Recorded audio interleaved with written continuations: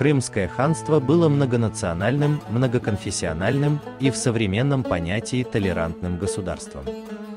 Здесь жили крымские татары, караимы, крымчаки, урумы, потомки готов и армяне. Все они, поданные крымского хана, жили в мире и согласии, в соответствии с законом и совестью.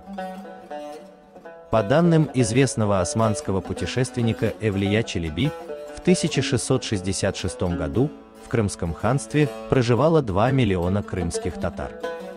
20 тысяч караимов, армян и евреев и 900 тысяч украинцев, при этом следует учесть, что значительная часть Украины в этот период входила в состав Крымского ханства.